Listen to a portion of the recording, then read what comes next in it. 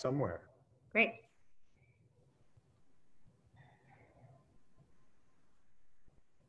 Grandma, are you on? Yep, I'm here.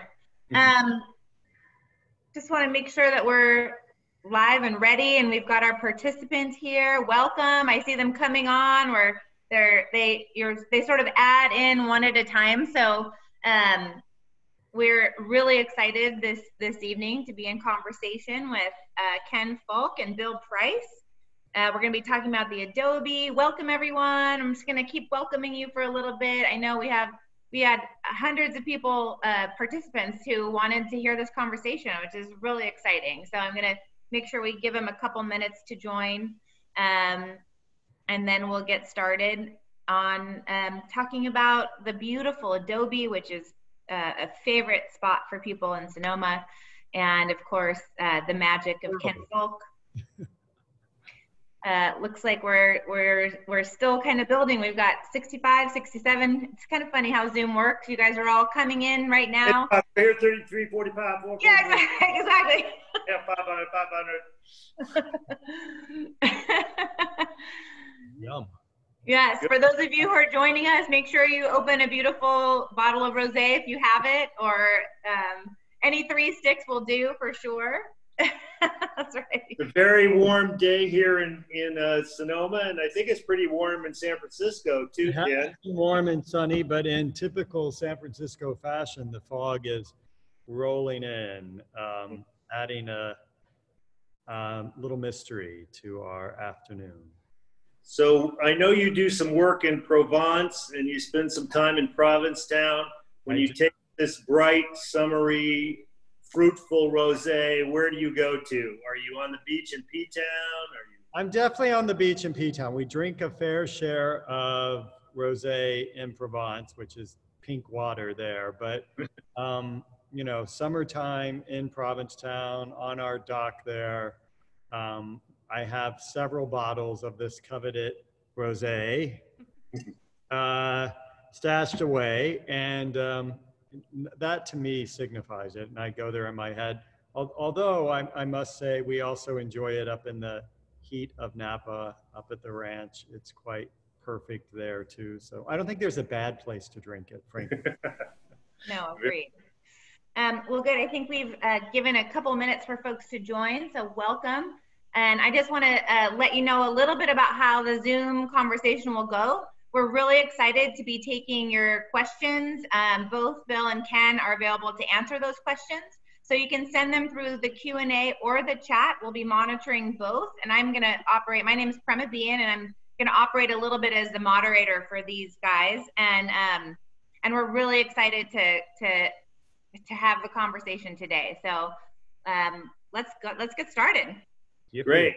Oh, Let's start at the beginning. So, Prema is one of the co-founders of Three Sticks Winery, and more famously, the founder of the Adobe. So, Prem, take us back to that day many years ago when uh, when you stumbled into the Adobe, and and and how did you find it, and what did you think? Oh my gosh, I still remember that day, and I get goosebumps because I, the minute I walked in the front door of this property, I couldn't believe it existed. Number one, and I couldn't believe that it had always been in Sonoma, and we didn't know about it. Um, and it just it fit every single uh, part of what we were trying to create for Three Sticks. So, you know, we had been operating our offices out of a really sweet little house in Sonoma with a nice backyard, and and people were starting to come and taste. And um, I had a conversation with you about, you know, I think it's time for us to really have to have hospitality, to be able to welcome people and pour wine for them. We were, you know, we had grown um, organically for a number of years, and we're It at took- that point. It took so long to warm up to that idea. I was like, people drinking wine with us? Exactly. That's crazy. Well, and Bill, you said to me, which I love, you said, okay, well, then it needs to be historic. If I'm if I'm going to put my resources into something, I want it to be historic. I want us to really preserve something that deserves it, and I, I wanted to have that same spirit of a home that we're sitting sort of, you know, you have your your Hawaiian background. That, that we have the feeling of ohana with the people that we meet with at Three Sticks, where we get that same piece, like the intimacy of a conversation while we pour wine, and not just a bar and you're sidling up and you're sort of in a in a lineup of people. So you know, it was those things, and there's not a lot of historic homes at any time, you know, out on the market. So um, it was a long, arduous process to really find something that would work for us. And walking into the Adobe here in, and meeting the Demlers, who were the owners of the property, a beautiful couple in Sonoma who had loved and cherished this property for many years before us and who had purchased it from Harriet Jones, who really saved saved the um, Adobe from oblivion. So it's just this really cool line of um, of owners who feel that sense of responsibility and stewardship to make sure that this um, that this beautiful place live you know into eternity. So great. So let's bring up the shot of the Adobe, and then we can walk through Ken's first. So so from the outside, the Adobe was not so spectacular. I don't know. what told me that they walked by it a hundred times and never knew it was there.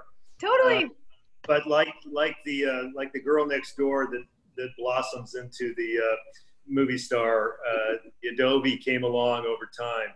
So, kid, I called you up, said, "Hey, come on, you got to go look at this 1842 building." Uh, what were your thoughts when you first first got there? Um, you know, it.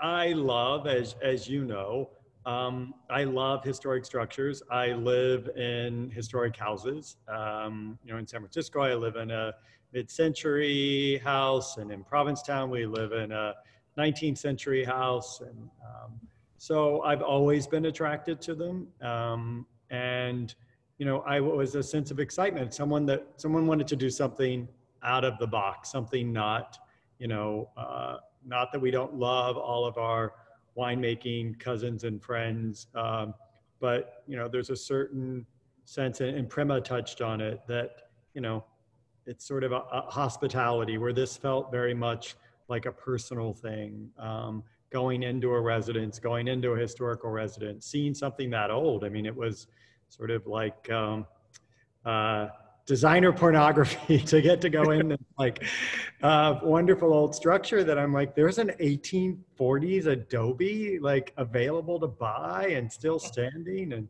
you know, California is not that old. Like how, how is this possible? so I was excited and intrigued and, um, you know, and it, it obviously was the beginning of something really special.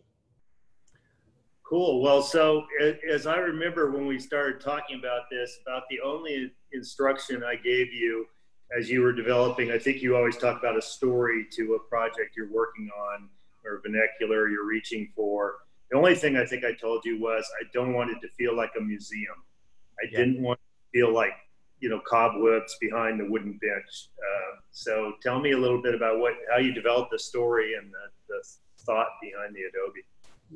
Every every job we do, um, we really do tell a story. I, I, often refer to them as as movies, and so we begin with a narrative. We literally write words about what we're trying to do, and this this wasn't just about an extraordinary historic structure. Um, it was about you and Eva and about Three Sticks and Prema and um, a conversation that we wanted to have with people we were going to welcome. And so we look at all of those things and you know how do you layer that in to create a space that it not only honors its history but brings it forward and um, creates uh, something that transports people that doesn't feel stuck in amber yet isn't you know irreverent or inappropriate. And so um, that's where we began and we really you know tried to i often say we we want to learn to speak the same language as our, our clients and um, and develop the language that would become the adobe that feels you know when you walk through that door it's a sense of discovery. You know there's like a childlike sense of wonder to these spaces where um, you you obviously are in sonoma you're obviously in something that's historic yet it's unlike any place that I had ever experienced. And um, there's there's a sense of awe about it all, um, and uh, I think that's not unlike you know how you discover wines and experiencing them and the relationships that get built around them. So um, that's where we began, and you know you obviously and Prema were amazing partners who supported us through all of this, and obviously we've more importantly developed a real deep friendship out of this that is the biggest gift that has kept giving. You know, I, I'm all of my clients are not friends, but oh, sorry, all of my friends are not clients, but all of my clients are friends. I got it backwards, and uh, that is so true with with you guys. And um, so that became like a way to express this. It's sort of a, a love letter to to you guys and to to uh, the history of the building. So that's how we I start. love that. One of one of the things that people say, Ken, when they come in here, media people, you know, people who are discovering it for the first time, they say that it feels very alive. Like there's an alchemy, a real magic to the property, and I completely agree. And it, I think that the essence of that was here before Yeah. before any of us were here but that what you did was you really um, you emphasized it you were able to bring that out in a way that you can viscerally feel it when you walk on the property. It, it feels alive. The history feels alive. And so it's not something that is necessarily in the past. You're transported into something right now that's alive right now. Cool. Well, let's put up some of the photos for people who haven't been enough to visit us here. This is the room I'm sitting in right now. Uh, I'll just point out one of my favorite features of it, which is that bookshelf over the little um, uh, console table, which has fragments from a dig they did here, and it's all kinds of little knickknacks from the time uh, that the adobe was built. So I'm going to grab a couple. Um, It's surreal. It's like you're in the image, Bill. Break anything. little little porcelain figures, um, and you know old horseshoes. Uh, but I loved I loved what that brought to the Adobe. And um, as you keep going around that room, I think everybody loves the gold the gold mirror up back one. yeah. They love the gold tortoise shells. too. Yeah, yeah. Well, they love that. I, I got to ask you about the tortoise shells one more time. I've forgotten what the answer to the tortoise shells was, but the gold mirror is always a highlight. So yeah, let's go over to the tortoise shells. People always want to know how many tortoises were killed in the construction. None, none. They're fiberglass. None. They shed their shells, Bill. So Um, here's here's where we're going to steal your secrets, Ken. How do you stand in an 1842 building and say gold coated plastic tortoise shells? Who doesn't say that? And the mirror looks like a crown.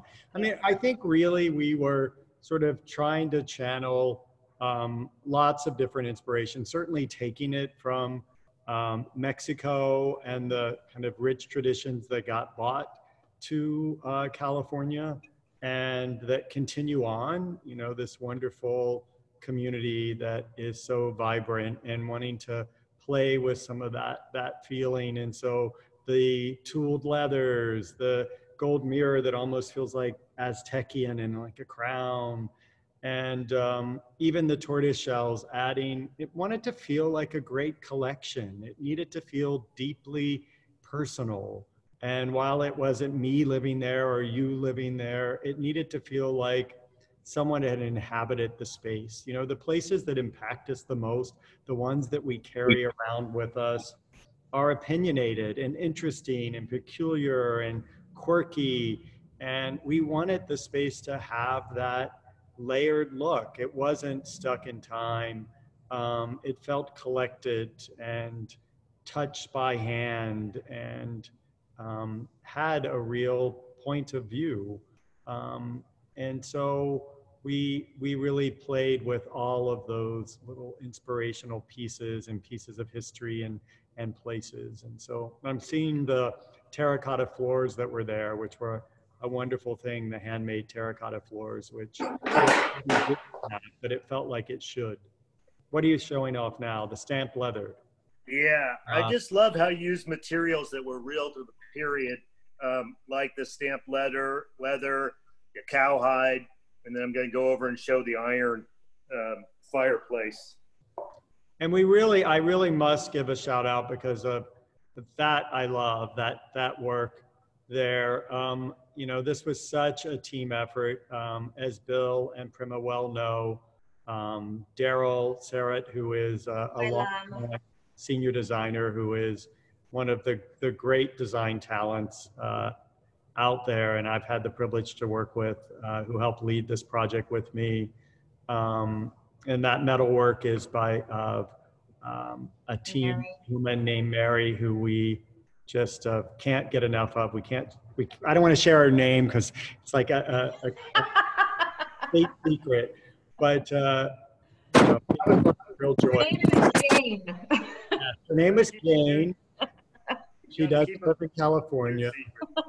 Um, the one thing that we haven't mentioned is, I mean, it, it really was a journey, and I think looking behind Bill at the the artifacts, you know, this wasn't an easy thing. Many people would have given up along the way, and it is a testament to Bill Price and his sort of, you know, commitment to spend the time, to spend the ridiculous money, to to do this, because it would have been far easier to go and open a perfectly lovely, beautiful tasting room somewhere else. And you know, anytime you restore a historic structure, one, it, you don't know what you're getting into, but also just the complications, doing it in a small town, and you know the perseverance that Prema had, but but Bill uh, and the willingness to to to go there and to the the belief in us. Yeah, the, the vision and the belief, And exactly. a commitment. It's a real commitment that um, it was a privilege to do that and a rare combination of someone who let us loose and believed in me, but also, you know, believed in it enough to support it through a very crooked path and not give up on it and not compromise and and not cut the corners. Um, and that's just was, you know, a treat for us. Uh, and so, I thank you. do have, I do have a couple of questions coming in. Um, Deborah Del Favo wants to know if the tile floor was original. And you touched on the tile floor. Um, th- that tile floor was not original, but there was a tile floor. There was, there was, uh, um, I think over the course of time, there were some alterations made to the d- Adobe, and obviously we've we've honored the stewards who really did take care of this building, but there were also some things that weren't so great and so authentic. And I think the things that felt like they were part of the architecture, we Mhm. really wanted to to have them feel like they um, were part of it and really were the quality that it kind of deserved. And so we have these beautiful handmade terracotta tile um, that I felt would, would have been what should have been in the Adobe, but wasn't. Yeah. Um, thank- Bill, Pres- Bill was- Prezant, sorry, Bill, but your friend Bill Prezant asks if it was difficult to get approval for the renovation. Bill, that all depends on what you consider difficult. I will say, at my seventh appearance before the Sonoma City Council, when they decided after a year and a half that we should write a history of the building before they issued our building permit, I said, that is a terrific idea. It would have been really terrific if you thought of it a year and a half ago Right. uh, instead of holding up our project for another couple months. But um, the real deal is it was very difficult because they didn't, no one had renovated an Adobe in a very long time and they didn't really know how to do it. They didn't know what to require. They'd tell us things like hook the walls to the, to the uh, foundation. And we'd say, well, there is no foundation in an Adobe building. It was built on top of the ground. Um, and so it was, a, it was a real struggle. And frankly, you know, I don't know if I'd known beforehand how difficult it was going to be if I really would have taken it on. But once once you're committed, and also once I started to see the vision for it, once you hung out in the space and saw how special it was, um, it- there was there was no doubt. Hey, one thing I want to talk about, Ken, is the color. We spent so much time picking the color of, of the walls here, which are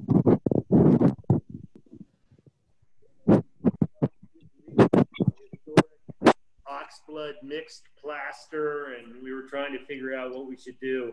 Um, how did how did you finally figure out what we should do? I know I know Eva and you had some secret meetings that you didn't allow me. We did have secret meetings. You know, it was like a, it truly was a secret sauce. You know, we did want to feel like there was sort of blood mixed into the plaster, and, and what did that mean, and how did it become too too dark, too sort of yellow, too red, too peach, too um, you know, but it wanted to feel like the earth. It wanted to reflect, you know, you wanted to see the imperfection, see the hand.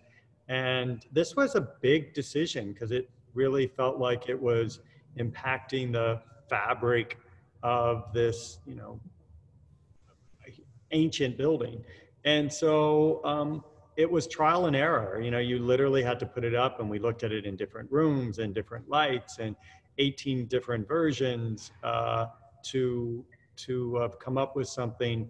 And I mean, I really have to say, I think we nailed it, especially when you're in the space. It glows in the sunshine and feels radiant. And then at night, it it's twinkles and sort of candlelight. And it really evolves throughout the day.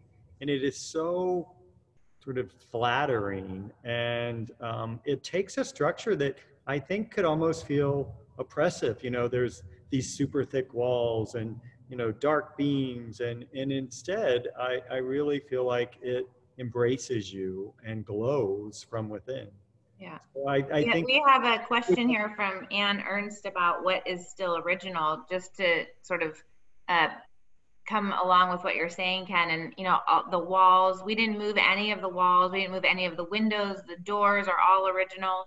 The um, the the, those incredible beams that you see above, that that's the same roof that's always been uh, over the adobe since the 1840s. Those are co- continual redwood beams. The kitchen is another piece that was, you know, Yeah, the first Go to the kitchen. kitchen, Yeah, inspirational kitchen. Yeah. So as most of you know, the Adobe's back in the day it was built. You never have a kitchen inside the house because the fire danger was too great. So you always had a lean-to kitchen, which is what this is, attached to the wall of the Adobe. Originally open, and then at some point they closed it up. And we loved it. It was teeny, uh, but but just like a little matchbox. But paint in there was also a, a very uh, interesting process. So how, how did we end up with the sort of paint flecked ex- exposed wood there, Ken? it was yellow. Remember, it was like canary yellow. it was sweet. Yellow and felt a little like precious. And you know i wanted to know. I wanted to see some of the guts of this thing. And i wanted to to to strip it back and get a sense that it had this shed like quality to it um, and celebrate that not sort of hide it and pretend it was a cute cottage kitchen. I'm like no it should feel rustic. And um, that was really the the big decision. We didn't blow it out. We didn't put in a real fancy kitchen. Uh, we we frankly kept a lot of what was there. Um, you know, adding the the red onto the cabinets um, was a decision to to add that little pop of color to give it a little bit of opinion against the rusticated wood. Um, I believe we with the one countertops we literally sanded the wood and Yeah, those um, had been there from Harriet's time. Those are like shipboard that she Right. that she had.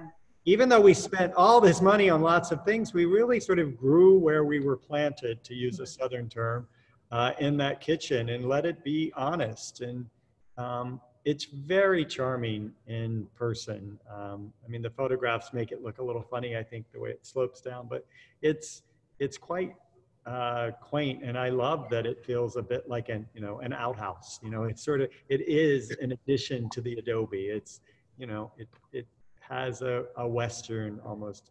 Uh, Well, I, I, I loved standing there with you when you started picking with your fingernail on the yellow paint. And then we got to a, a weird green pea color, and then we got to a red, I think, and a brown, maybe a white. There, lead paint poisoning, lead. Uh, there- there were there were at least seven colors, at least seven colors that you peeled through to get to the wood. It was pretty cool. Yeah. Well, let, Um, I just want to note to you guys that we have some, we have family members of the Joneses and the Demlers, and we have people who are on this call sharing with us that are part of the history of the building, which is just really an honor. So thank you for joining us Yeah, uh, this evening. It's really maintaining- great. The only reason we can have what we have today is because of the preservation that those families did over many, many, many years. Yeah. Um, I'm switching to the Pinot now, and let's go to the storehouse. Wow. So this is the Cuvée Eva Marie Pinot. Uh, this is a wine. Oh, and uh, we do have questions about, we'll have to go back to those slides um, about the, um, we've had questions about Raphael and, and uh, Oh, the okay. Murals. Go to the mural. Go to the mural. I, I jumped. I jumped ship here. We got to Well, talk. Pinot. You can talk about the mural. Um, so, uh, just a real quick story. Um, several years ago, um, uh, several years ago, I um, came into my studio and a young man was on a ladder painting this glorious scene, two stories high in my studio. And I, I said, Who is that young man? I thought I'd seen him around. And he had uh, just taken a job, I was told, somewhere else. And today was going to be his last day working with us. And I'm like, What? Uh, and so we, we hired him sort of on the spot to um, become an artist in residence with us at Ken Fulk Inc. and to paint every day. And um, Wasn't he a teenager or something? He was so young. he young. literally was very young. I, I mean, I, I, he was going to go work for Mitchell's Ice Cream. Uh, and I'm like, he can't go scoop ice cream.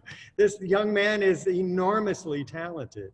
And so um, I can't take, you know, all the credit goes to him because all of the talent came from him. And, and um, this was one of the most important commissions he undertook. He has flown around the world to do this work now. Uh, and he has launched his own company where we greatly support. But we developed the idea that we really wanted a mural. You know, California has uh, a long history of historic murals. We wanted there to be a real artisan touch to uh, the Adobe. We also had this big blank wall. We had created this uh, great courtyard and a, a really beautiful garden entrance.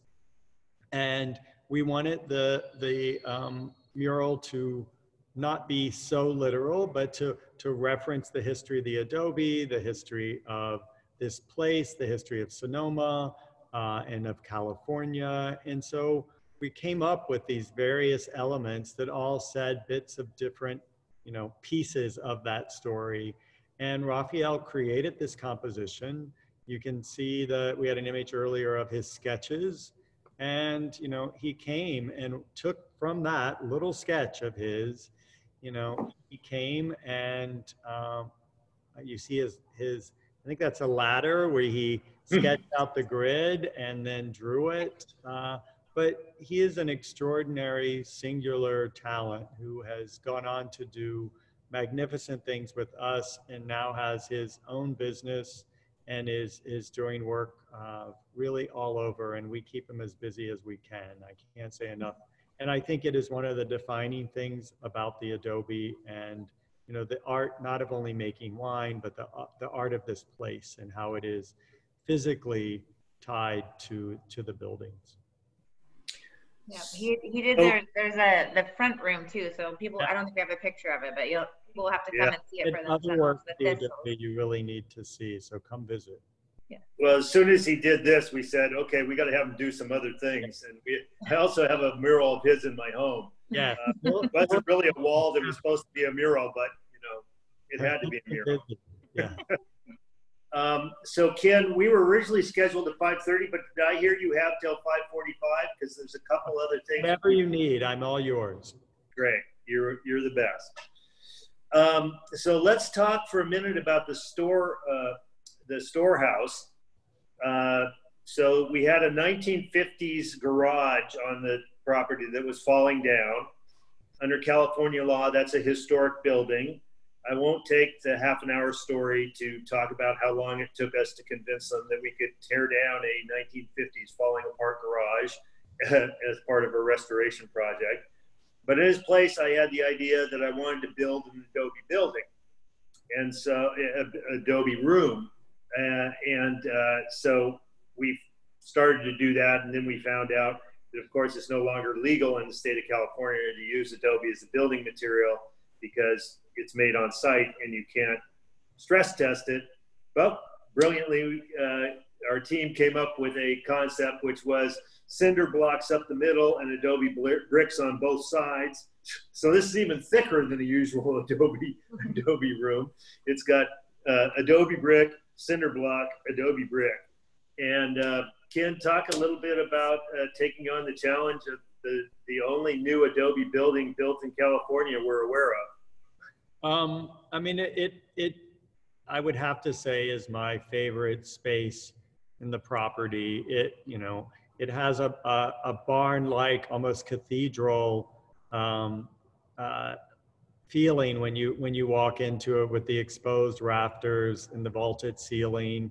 Um, you see the adobe bricks, and so it sort of feels and smells like that. Um, you know, not unlike the kitchen where we peeled it back. This feels like the skin of the building is exposed, where inside the actual adobe, it's you know it's covered over, and so you don't get to see the sort of guts of what makes that building. Um, and you know, then we we certainly added a, a, touch of modernity with this interesting sculptural light fixture.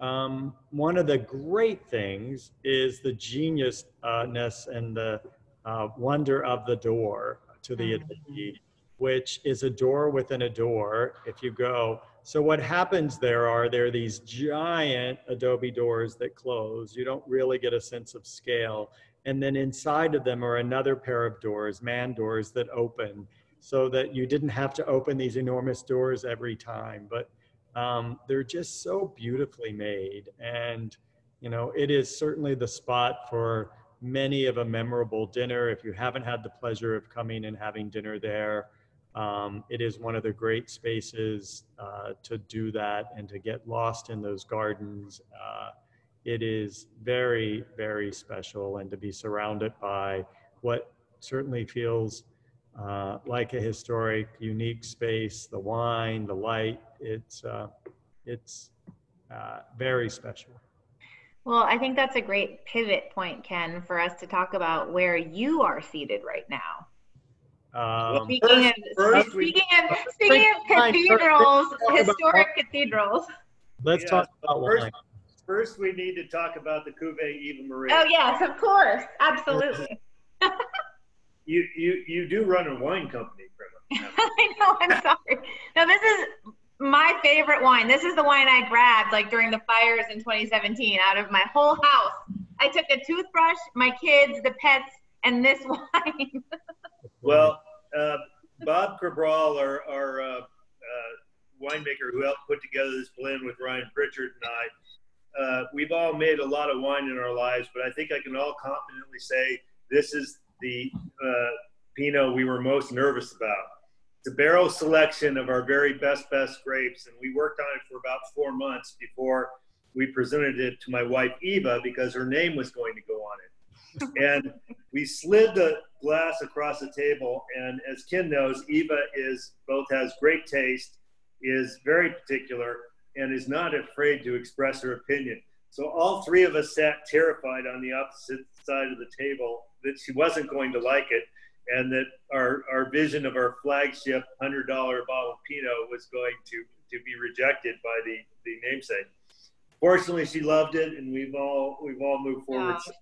She's so, so, delightful too. Yeah. I hope everybody uh, gets a chance to try the Cuvée Eva Marie. I always say if you're looking at a wine list and you can't figure out anything on the wine list to buy, buy a wine that's named after the owner's wife or daughter because guarantee it, that's going to be a good wine. that's fantastic. I hadn't heard that. I like that. All right. Let's go to St. Joe's. Your love for historic buildings. You took on an incredible project. Um, oh my God, I, look at it. I wish I had I wish I had a before photo when uh, I'm going to get a little off color here, but when Ken first took me to this this church, which I think had been abandoned since the '89 earthquake or condemned since the '89 earthquake, um, and we walked through and he described what he was going to do, I said, "You, sir, have enormous balls." because I knew what it took me to do the little Adobe, and here he is operating on this ginormous, uh, you know, church, which has been home to rats and God knows what over the last 40 years. Pigeons, yeah. It is, uh, it is a magnificent space. I must say, um, I think I, I, I don't know, maybe I had too much of the Eva Marie when I decided to, to, to do it. It is a uh, historic structure uh, from 1913, not nearly as old as the Adobe. There was a church here prior. When it was built, it was the largest Catholic church west of the Mississippi. Um, a, uh, as I said, National Historic Landmark damaged in the 89 earthquake. And uh, I saw it about four and a half years ago, uh, filled with pigeons, raining inside. Um, and the pigeons were the best of the neighborhood. The, the pigeons were the best of the neighborhood. And I said, I, I, think I'm supposed to buy a church. And so we set about restoring it and uh, wanted to create a new community for the for the church, not a new religion, so to speak, one based on uh, art and beauty, thinking um, that we would create uh, this community and celebrate. I think what makes us human, the best of who we are, celebrate food, wine, art, um, and it's been a, a magnificent journey. And uh, certainly over the past several months, it's even instead of contracted, it's expanded. What became sort of um, really about a magnificent building um, became a, a, community that grew beyond that. Our, our, I'm getting religious. Our, con- our congregation grew and um, it's been wonderful. We now have a great digital presence and virtual following for all the things that happen here in the church. We've had wonderful programming continue. Um, and it's, uh, I invite everyone to certainly please come visit us at the Adobe, but you're also invited to come and visit St. Joseph's. It, if you need something to lift your spirits up, this is the place. We are, we are open again. Um, we have wonderful retail here also and wonderful partnerships with amazing uh, artists and artisans. So uh, I would certainly invite you to to come see it. And, and how do they find out when they can come and what's going on? At the Adobe, obviously, they call Three Sticks or go on the Three Sticks website. What do they do if they want to show up at St. Joe's and check out those bears over your? Actually, website? answer all my messages so you can. You can contact me directly. Uh, at, my email is easy. I'll tell everybody online here, ken at kenfulk.com. Um, or uh, you can email Sarah at St. Joseph's Arts Society, so there's two S's in there, dot com. Uh, and we'll have you for a wonderful tour and visit and pour you a glass of delicious three sticks. Uh, Bill has been a, a, great supporter. He and Eva uh, and Three Sticks has as well, and have really been part of this community and believe in it. And so that I'm I'm grateful for as well. And you can also follow us. We have a, a new digital presence. It's already gotten a nice community, um, St. Joseph's Art Society on Instagram. So you can find us there too. So fantastic. Yeah, it's really, really special. And the sound quality, if, if you're ever putting on another music performance there, um, oh my gosh, uh, the acoustics when the uh, band or the singers are, are on that. Uh, I don't know what you call where the altar was before, but uh, this. I'll duck. Yeah. It's right back there. I'm in the corner, by the way. All right. Uh, it's spectacular. It's spectacular. Thank you. It's such a gift to the community that you did that. And um, I'm not sure what was more courageous, either uh, taking on renovating that church or just giving out your personal email over. Uh, right? That's okay. I don't mind. It'll all go to spam anyway. Don't worry. Um, well, there, there was also some huge news this weekend about a project that you're taking on, and I know we've got we probably have five ten minutes left, and I just don't want to be remiss that you're going to be. Can you tell us about the Chrysler Building? I know, right? Is that not crazy? Um, you know, as I said in a church, I often say, uh, God made a job for me, and you know, when I meet someone like Bill and Eva and Prema, who you know have their courage and, and let me come in and do what I do. I'm just so grateful. And Um, although someone once, uh, you know, said to me when you were a little kid, I grew up in Podunk, Virginia, that, you know, and I always had illusions of grandeur. And they were like, Did you ever think you would do these sorts of things? And I'm like, Yes, that's all I ever thought I would do. uh, and so I got a phone call from a gentleman who said, I just bought the Chrysler building and you're the only guy I could think to call. And I was like, I didn't think you knew my name. How did, and so, um, you know, what a joy. We are recreating, we're, we're sort of helping on multiple things there at the Chrysler building, but we're recreating the historic Cloud Club, which was uh, put there when the, when the building opened as sort of an amenity and a special posh thing for, for the uh, tenants there of the, of the Chrysler building. And uh, what an honor, you know, it's incredible. I, much like the Adobe, I joked earlier with Bill, like, the you know it's like don't screw it up like these are precious things you could you could you could mess this up and and so um you know but you also don't want to be afraid. And so with a fearless attitude we're heading into it. Uh, we have some extraordinary uh, exciting things. And frankly it's the same mantra that we we bought to the adobe that we bought to st joseph's.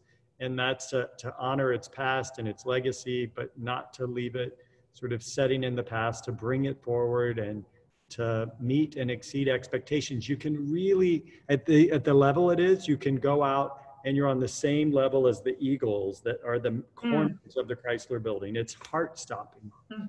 uh, so what what a privilege and how lucky am i and you know i am the most grateful man on the planet for my charmed existence and life to be filled with beautiful friends, beautiful wine.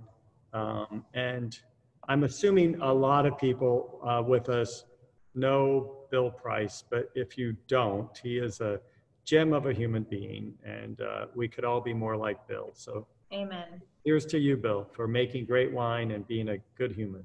And to you, Prema. Oh, thank you. You too. Well, that, you mentioned Prema, I can drink too.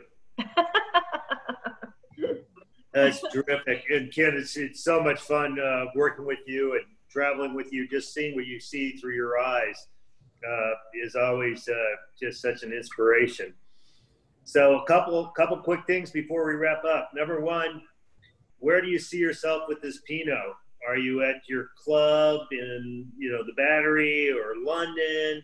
Um, no, I think I'm. I think that I'm around a table um, with great friends. You're there, hopefully, um, both of you. And um, I don't know, the candles are getting low. I'm probably like talking too much. I might get teary eyed story. really good food. Um, and, you know, those, those little, those little moments, that's the mantra of St. Joseph's is that every moment matters. And if the past three, four months have taught us anything, it's like how much those moments matter. And um, I have said uh, that, you know, for me, it's been having, and I know it's not like this for everyone, but for me, it's been like, you know, a few months of Sundays where I get to hike with my dogs and I, I get to cook dinner and drink beautiful wine. And so, um, you know, to, to me, that's what this creating something like this is about. Um, and it allows us to connect over that and the simple pleasures in life. Um, and this is truly one of them. And, you know, thanks for making damn good wine. and Eva just sent you a little hello can with lots of hearts. So she's. Uh, She's my wife, but your girlfriend. totally. That's going to be the funny part of this when I run away from Bill Price's wife. It's happening. He just. Well, Ken, thank you so much for taking out uh, from your time now, and uh, everything you do is magical. He has a book called uh, Ken Fulk's Magical Mag- World. We have a new book coming up, and not till next year. So. That, but it's got all kinds of magical ideas, and uh, I say you never have a boring day when you're in Ken Fulk's world. So thank you very much, Ken. Thank okay. you, guys. Thank you, Prema. Cheers. Great Cheers. to see you, Ken. Thanks for joining us. Oh my gosh, a privilege. Take care of yourself. I know. I forgot how daggone good this is. Bye, guys. Bye.